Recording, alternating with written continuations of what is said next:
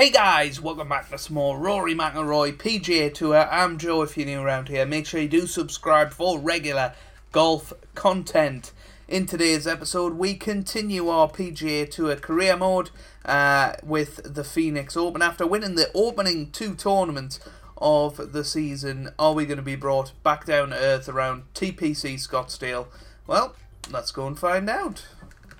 Thank you for all the incredible support on the series so far. You guys seem to be really enjoying um, the golf content, which is fantastic. I'm I'm enjoying playing the game as well, and uh, and hopefully we can uh, get some good results, and uh, you guys continue to enjoy it. It's a very chill game to play. It's going to be on a Monday and a Friday at 4 p.m. Uh, where FM used to be, but um, you know I'm sure you guys don't care about that.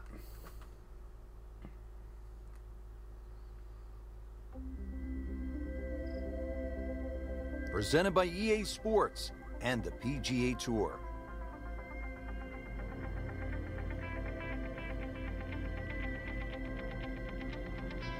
Welcome to the Stadium Course, TPC Scottsdale in Arizona. It's a masterful blend of challenge and playability designed by the team of Tom Weiskopf and Jay Morrish. Rich Lerner alongside Frank Nobilo for EA Sports. The changes, Rich, they made in 2014 have just added a luster to this great venue that uh, hosts the PGA Tour event each and every year.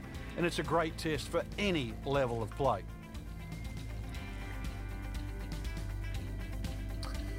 So five under for Erik Compton. Rory McIlroy's up there as well. So yeah, Continuing here here, we go. Just made the turn. Let's go out to number 10, see what's happening. Nothing noteworthy here in the first round, Frank, but still plenty of golf to be played. That's right, Rich. A little bit of a dry spell, but really not a lot of damage done.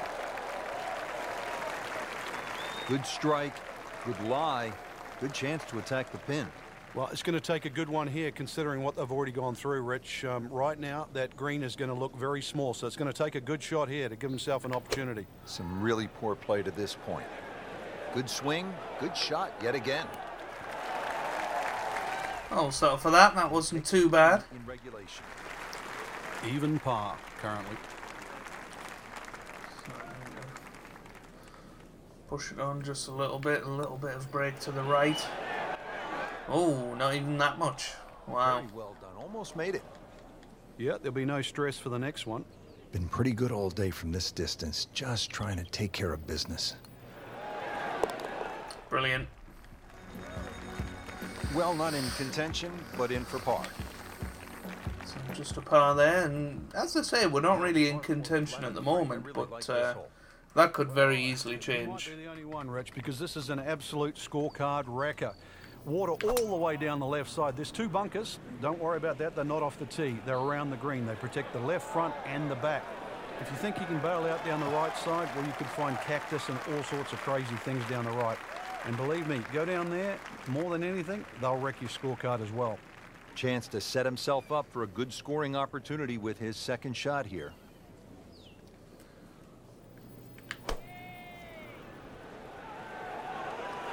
Appears This is to be pretty good. shot, Frank. Yeah, no problem here. That's going to fly all the way. Early part of this second nine, a good approach shot. Now, pretty good chance for birdie. 14 feet to the hole. Quite a bit of break this time. Nope. That was a good looking putt, just not falling right now. No, sadly, he's going to be disappointed.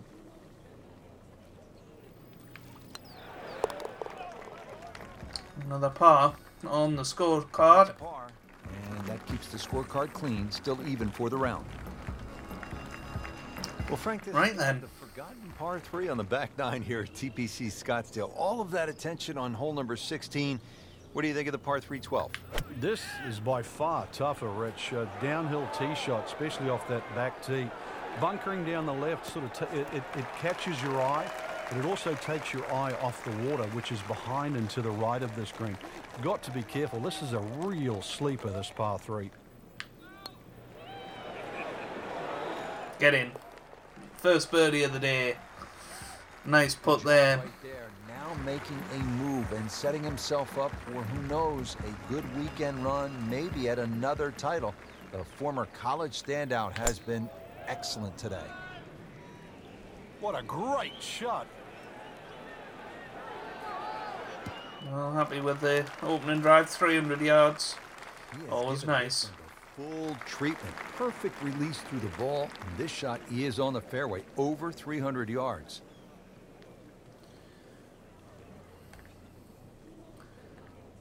Just got to be a little bit careful here. That one is bunker bound. Wow, like. that was terrible.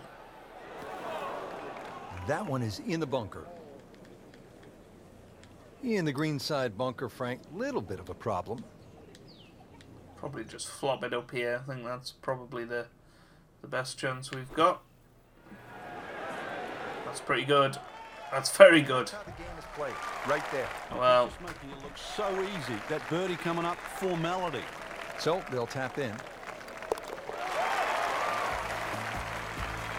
Now at 2 under par for the tournament. At the 14th now, it's a par 4. And a dog leg left once again. The bunker on the left side's been pushed out to the fairway to really make you think whether or not you can carry that. It's a lengthy second shot because it's going to play a little bit uphill.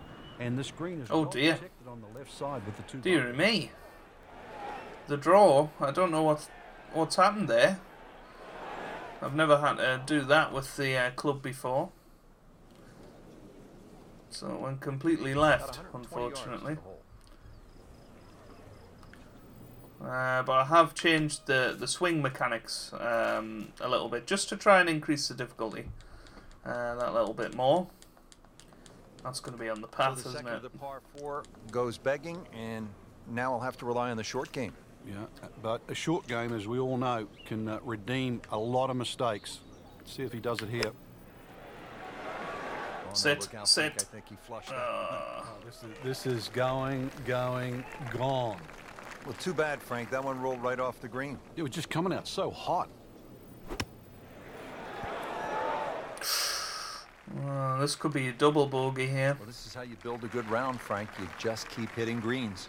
Just needs to keep it steady here over the putt. Nope. So all that hard work. Looked good all the way. Well, this will test his mettle. Tough hole has this now for double bogey. So with that, the score is now at even par. Well,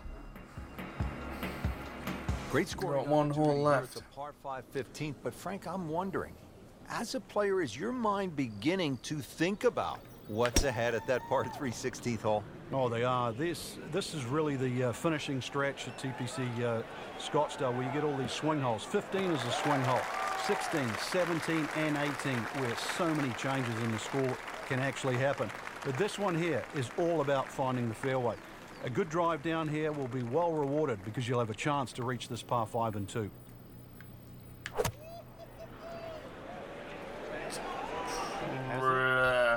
Maybe wet. come on. No. Frank, back on dry land here.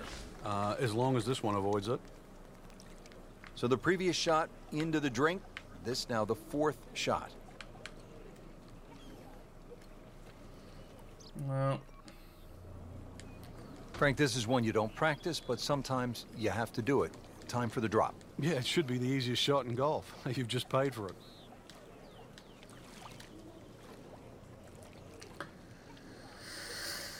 right.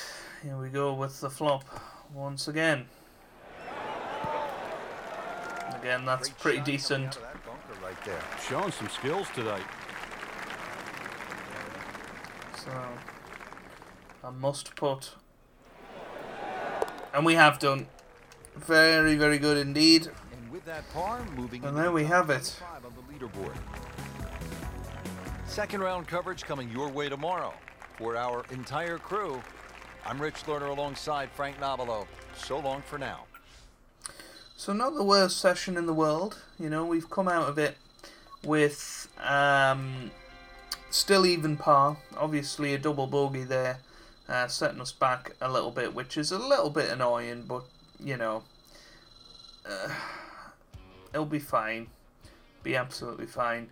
Uh, and we'll just try our best to, to move on in the next round and uh, and, and make up those shots. That's the, the, the plan anyway in round two.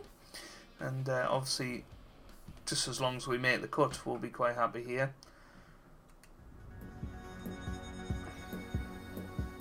This is EA Sports coverage of the PGA Tour.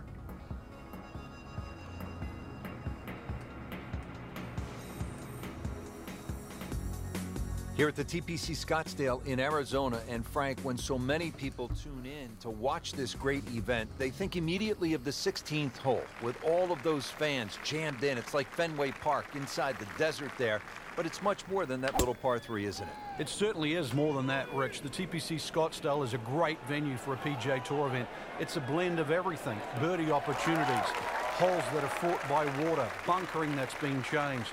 All in all, it's a great atmosphere with nearly half a million people that visit this during the tournament week.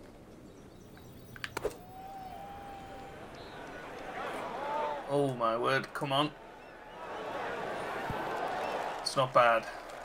The cut line is uh, even though. Luckily, we have started the round um, one up, or one under, I guess.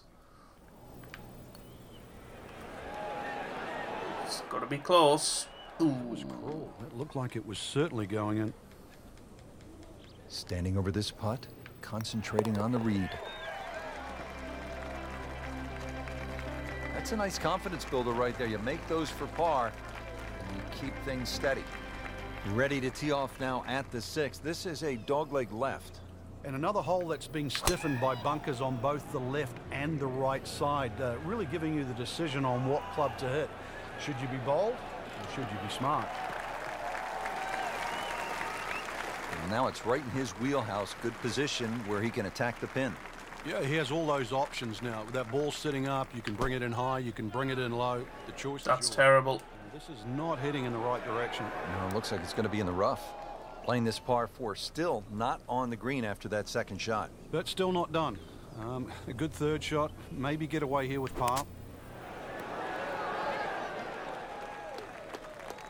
Well, that's what separates the good players from the great players. The ability to get it that close from that kind of lie. Not bad. Just having to keep our round together here. Under pressure. Frank, where's the difficulty here on the seventh hole, the par three of more than 200 yards? Well, Rich, uh, front hole locations are always uh, probably the toughest here because that's the narrowest part of the green. Bunkering really hasn't changed, um, and the green still does widen up, but the hole tends to play slightly uphill.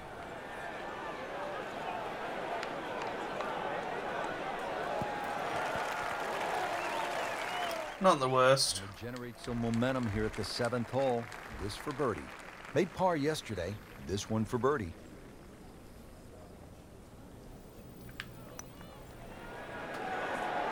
Could be.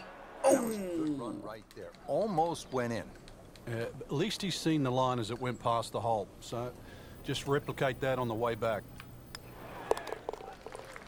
Well, you gotta say, He's made it. we've held it together well here, but definitely need to make up a few shots. Slight dogleg to the left, Frank. And this dogleg's made more severe now by the addition of two bunkers. Uh, this was a bunkerless hole off the tee in years gone by, but those two bunkers certainly make this a sharper dogleg. And because it forces the player to go down the right side, adds length to the already long 475 yards. Second shot. Good look at the green.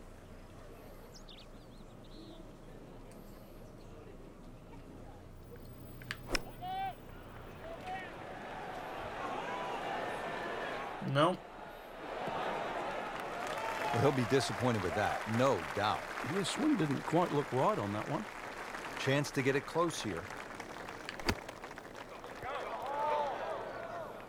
Well, this is going to be an interesting day. The wind is howling, or as they would say in Scotland, just a wee breeze.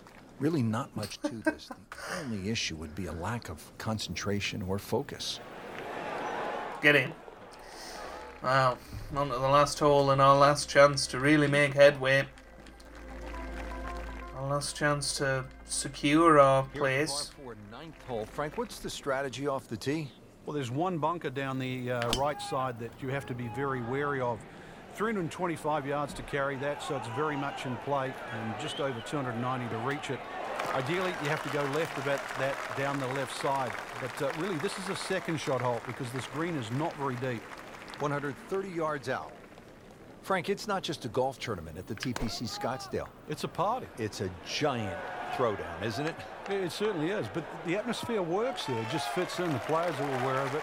They're quite fine to play amongst it too because it's just uh, it's such a rare event. And to be honest, a lot of the fans, and there were almost 180,000 on Saturday alone in 2013, a lot of the fans, they don't see a single golf shot. They're too busy having a good time, having a party.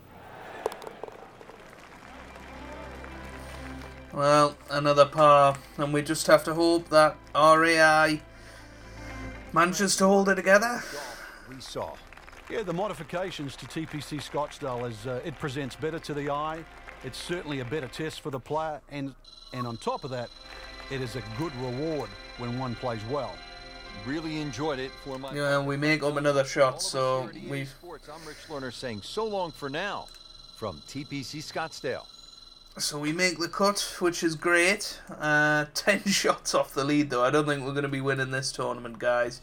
Uh, just, just a bit of a hunch. But uh, you know, you, you, never know with these things. If we uh, do well on this third round here, maybe make up four or five shots, um, then you never know on the Sunday what can happen. But uh, the, a bit more back down to earth in this episode, but some good golf nonetheless. Simply put, there is nothing like it in the game of golf. It is by far the biggest spectator event in the sport we're at TPC Scottsdale in Scottsdale, Arizona. Hello again and welcome. Rich Lerner alongside my friend and colleague Frank Nobilo.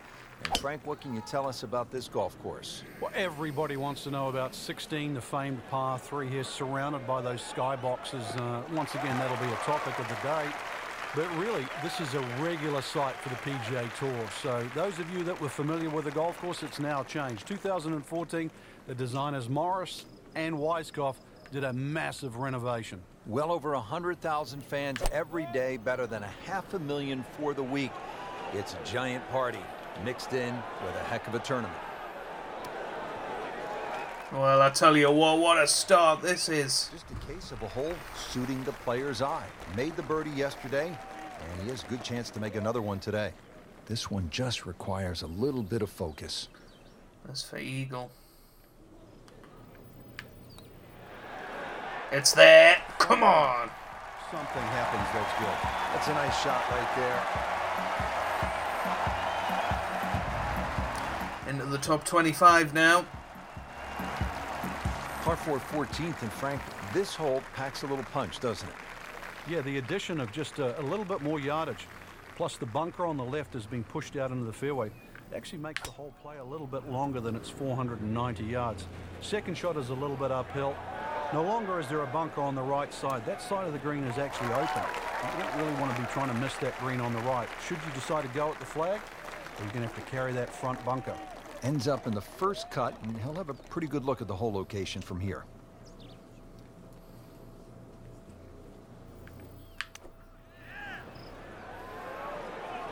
Well, this one should be safely on deck here. It's okay. He's not Settle for that But not in a great position. This is a difficult chance coming up here. Long birdie try.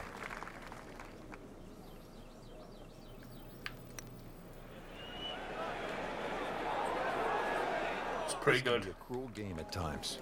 Well, there's an opportunity wasted. Just knocking him for a par, and let's forget about this one. Um, golf is not about perfect. But been a little too much of that, Frank. Just sort of ho-hum pars. Now at the par 5 15th, and Frank, there is plenty to catch your eye. There's also quite a bit to catch your ear. You can hear the roars at the par 3 16th. So how do you focus on the task at hand? Great question, Rich. You know, you, you realize you're about to enter the stadium part of the golf course. But this is the last par five that you're going to play. We've seen eagles here over the years. We've seen many a player hit it in the water off the tee or water short of the green. Certainly one of the tougher tee shots coming in. No bunkers here to worry about, just that huge lake to the left. Find the fairway, you might just find the green. Frank, I think that's going to the bunker. Looks like it. I don't think so. Somehow that. It's a chance for Eagle. Bunker, Frank. Yeah, that looked like it was sand for sure. Not a gimme, but well within his range. So again, not too much break here. And it's there! This is a pretty good Come on! Six under for the tournament. Well, that's four shots made up. In the first three holes. Made the 16th hole what it is today would have to be Tiger's ace in 1997 here at the TPC Scottsdale when it was raining plastic cups.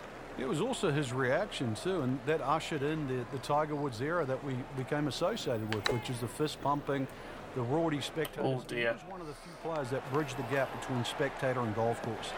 And, uh, and it still goes on till today. And, and I think Rory McIlroy probably is the only other player that starts to broach that type of inside and outside atmosphere with golf. Still to this day, it's the loudest single moment that I can ever remember hearing on a golf course. Frank, that reminds you of maybe what, the greatest bunker player of all time? Been pretty good all day from this distance, just trying to take care of business.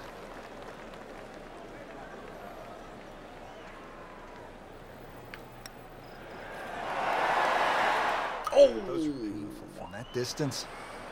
Yeah, just another one added to the card. Big mistake. Well, not going to make par here. He needs this to only give up one. So a drop shot.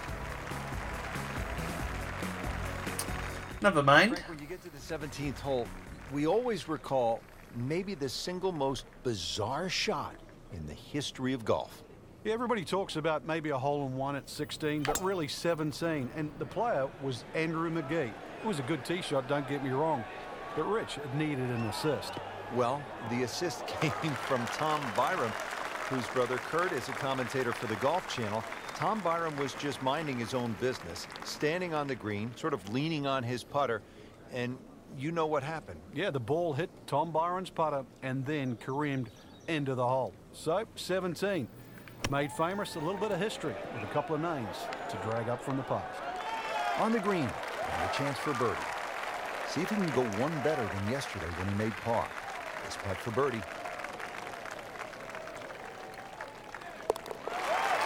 It's there. So we've made up that shot that we lost on the 16th. That one gets him in the top 10.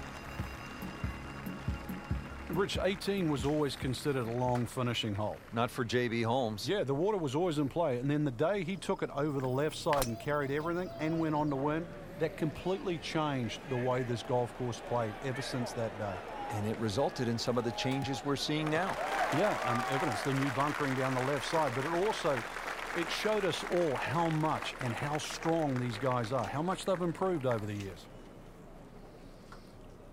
We're going to go a couple of extra clubs here. Oh, that's left. That's left.